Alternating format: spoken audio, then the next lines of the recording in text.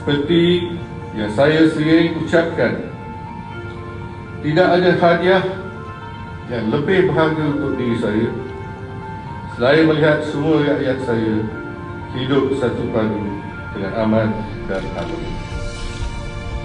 Oleh itu, saya menyeru kepada seluruh rakyat negeri supaya hidup bersama-sama, bertolak ansur, hormat menghormati antara satu sama lain dan sentiasa bermufakat kerana sesungguhnya mufakat itu berkat.